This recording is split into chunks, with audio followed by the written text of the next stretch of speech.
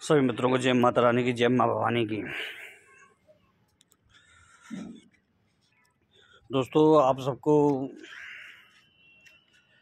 एक चीज़ बता दूँ मैं कि जैसे कि आप सबके मैसेज आ रहे हैं और जिसमें कि कई प्रकार की साधनाओं के लिए मैसेज हैं, जैसे कि तारा का हुआ, माता तारा का हुआ, छिन्नमस्ता का हुआ धुआंवती का हुआ और क्रोध भैरव का हुआ। तो इन सब के मैसेज आ रहे हैं। तो दोस्तों, जो ये गुप्त नवरात्रि जो आ रही है, अब आने वाली है, बस शुरू होने वाली है, कुछ दिन में तो इसमें लोग बड़ी साधना करना चाह रहे हैं, क्योंकि इसमें बहुत महत्व होता है, और मैं पहले भी नहीं करा पाया था गलती से, क्योंकि मैंने हल्का ही कम लोगों का ही रखा था पहले भी। तो बड़ी साधना करना चाह रहे हैं और आपको एक बार बता दूँ, कुछ लोगों को विशेष, उसमें महाकाली और काल भैरव करा रहा हूँ। तो वो अलग हैं, वो ग्रुप में नहीं है, वो अलग से करा रहा हूँ। तो ग्रुप के माध्यम से कई लोग कह रहे हैं कि हमें भी आप ये करा दीजिए आप हमें। तो दोस्तों, मैंने आज फिर सोचा मैंने आज जिसके, जिस की साधना का मतलब ज़्यादा मैसेज होंगे जिस भी साधना के ज़्यादा मैसेज होंगे तो उसी को ग्रुप के माध्यम से कराया जाएगा। ठीक है ना? पहले तो मैं नहीं सोच रहा था लेकिन इतने मैसेज आ रहे हैं करा मतलब कि गुरु खाली गुरु जी खाली मत जाए तो इस, इस गुप्त नवरात्रि को। तो देखो मैं खाली नहीं जाने दे रहा आपको ग्रुप के माध्यम से मैं करा देता हूँ ठीक है? और जितने भी ग्रुप हैं सब में मैं ये चीज़ देखूँगा। कि जो जो इच्छुक होंगे, जिस, जिसका ज़्यादा मतलब मैसेज होगा कि जिस साधना के संबंधित ज़्यादा मैसेज होगा, उसी साधना को मैं कराऊँगा। चाहे वो क्रोध भैरव का हो, चाहे वो तारा का हो, धुमावती का हो, माता छिन्नमस्ता का हो, भलामुखी हो, कोई भी हो मतलब जिसके ज़्यादा मैसेज होंगे, उसी को मैं साधना को कराऊँगा। ठीक है ना? तो अभी तो दिन है, मुझे थोड़े से ग्रुप तो लास्ट में बनेगा। बस मैसेज देखने के बाद ही मैं कुछ निर्णय ले पाऊँगा, करानी है कि नहीं करानी है। ठीक है ना? क्योंकि ये मौका फिर हाथ में आपके आएगा नहीं दोबारा से। वैसे भी मैं आपने देख लिया होगा कितने कितने दिनों में आप ग्रुप से ग्रुप ग्रुप में चला, कराता हूँ, कराता ही नहीं हूँ, बल्कि दो दो, तीन तीन महीने हो जाते हैं। तो आप देख लीजिएगा, ठीक है ना? हाँ और मुझे बताइएगा, ताकि मैं उस हिसाब से सोच सकूँ। अभी थोड़ा सा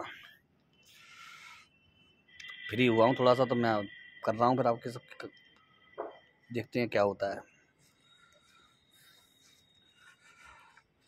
इसमें जो पहले से मैं सोच के चल रहा था, वो मैं सोच रख, सोच के चल रहा था क्रोध भैरव का।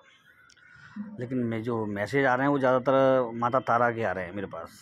अभी अभी तक प्रेजेंट में जो आ रहे हैं।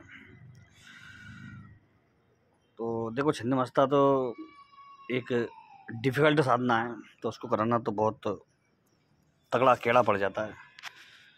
तो वो चीज़ है छिन्न मस्ता डिफ़िकल्ट है, वो केड़ी पड़ जाती है।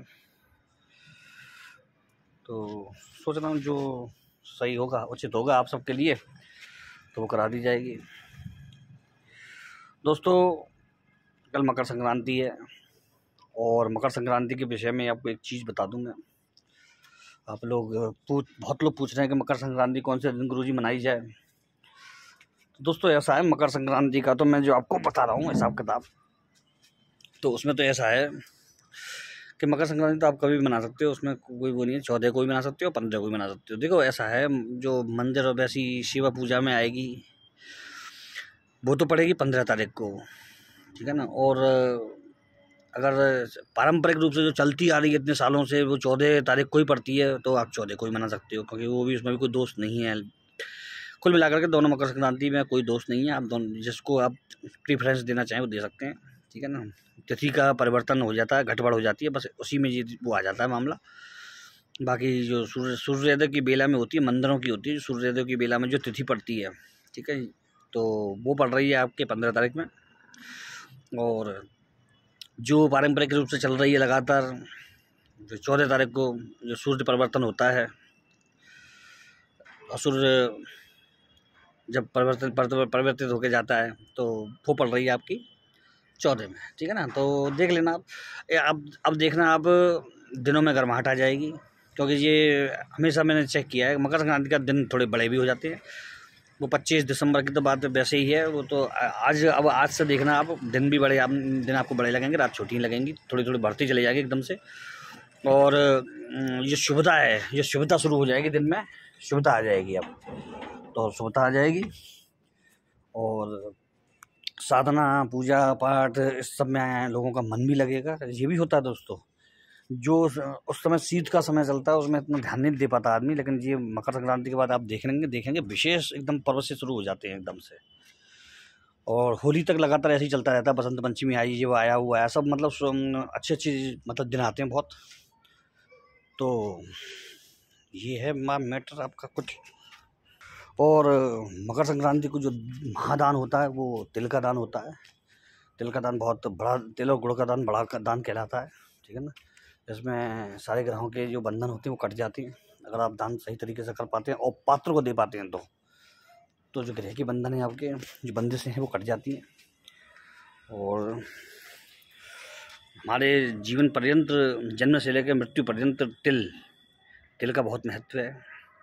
इसीलिए आप देखेंगे मकर संक्रांति पर तिल का ही महत्व है। हर कार्य में तिल काम आता है। चाहे वो पूजा हो, पाठ हो, जन्म हो, विवाह हो, शादी हो, उत्सव हो, हवन हो किसी में भी आप उठा करके देख लीजिए, तिल का महत्व तो अलग ही है अपनी जगह पर। तो तिल का भी महत्व होता है। जो गुड़ गुड़ जो गुड़ है, वो मंगल का भी कारक है गुरु का भी कारक, गुरु का भी उसका, उसमें अंश आता है। तो आपको शुभता भी मिलती है और साथ में मिलता है पराक्रम। मंगल पराक्रम और गुरु शुभता, गुरु ज्ञान, गुरु गरिमा, गुरु पद। मंगल पराक्रम, आत्मबल, आत्मशक्ति, कार्य करने की क्षमता जुझारूपन मंगल। एक विशेष आत्मसम्मान के साथ कार्य करना, मंगल। एक तेजस्वी व्यक्तित्व। उसमें भी अगर सूर्य मिल जाए तो महापराक्रमी और तेजस्वी। हर ग्रह का गुण एक धर्म होता है। तो वो सब चीज़ें होती हैं दोस्तों, दो सब चीज़ें हैं, आपको धीरे धीरे सब समझ में आएगा। मित्र, मेरे प्यारे दोस्तों, चलिए मैंने आपको थोड़ा सा जानकारी दे दी है और आपके मैसेज जब मैं कल रीड करूँगा, आज देखता हूँ रात में आपके कितने मैसेज आते हैं इस विषय में साधना के संबंधित में। और आज आपको एक छोटी सी अत्यंत लघु लेकिन अत्यंत तीव्र एक प्रयोग बता रहा हूँ साधना के, साधना सहित प्रयोग है ये, कि सफ़ेद तिल, काले तिल, बूरा घी। सफ़ेद तिल, काले तिल, बूरा और घी। ठीक है ना इनको अलग अलग रख लें। अब बूरे, बूरा घी मिला करके सफ़ेद तिल।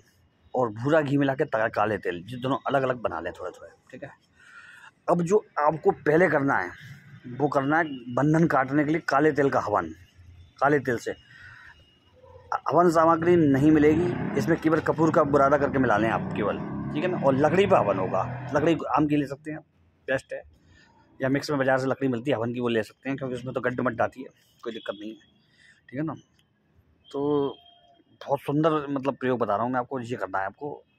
पहले तो करना है आपको काले तिल से संकट काटने सब चीज़ों को हटाने के लिए, नष्ट करने के लिए, गंदी चीज़ों को। और जो मंत्र है, वो केवल इतना है, ओम क्रीम कालिकाय नमः, ठीक है ना? इस मंत्र से करना है, ओम क्रीम कालिकाय नमः, ठीक है? एक सौ आठ बार आहुतियाँ देनी है आपको, ठीक है? अब इसको आप बिल्कुल माता रानी को अपना हवन समर्पित करते हुए आप बिल्कुल इसको सामग्री को अलग करते हैं फिर। और आप जो सफ़ेद तिल, बूरा और घी वाली सामग्री है, उसमें भी कपूर मिला लें थोड़ा सा और लकड़ी पर हवन इसको भी उसी लकड़ी पर हवन हवन करना है इसको, ठीक है ना? और इसमें जो आपको जो मंत्र होगा वो मैं दे रहा हूँ।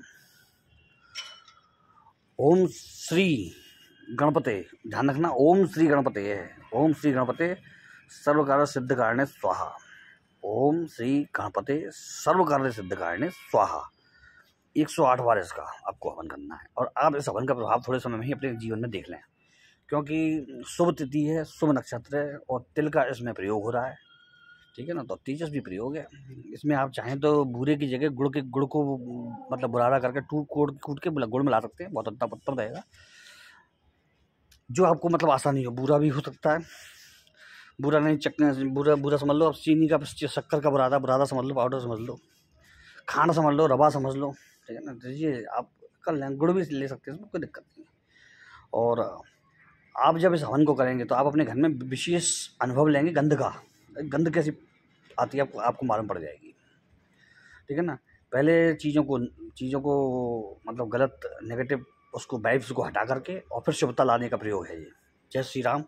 और जय हनुमान जी महाराज, सभी को मकर संक्रांति की बहुत बहुत शुभकामनाएँ, प्यारे मित्रों।